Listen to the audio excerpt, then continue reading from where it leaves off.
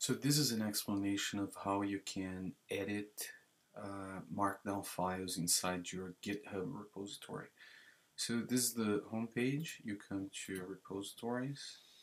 I'm going to choose something here, specifically this paper.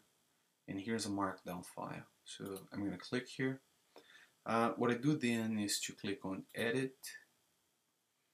I'm going to use Zen mode and now I can basically edit whatever I want here. So I'm just gonna add some white space. Once I'm done I exit uh, Zen mode and then I come here and I make a note. So this is you know just some mods.